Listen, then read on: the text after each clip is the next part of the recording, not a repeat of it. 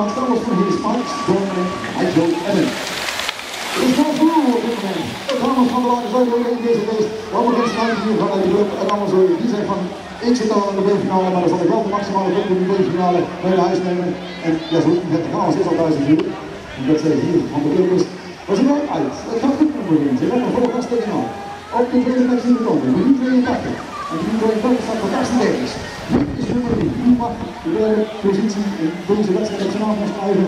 Dat is nummer 396. 396. 8 Adriaanse van Werelds Maren.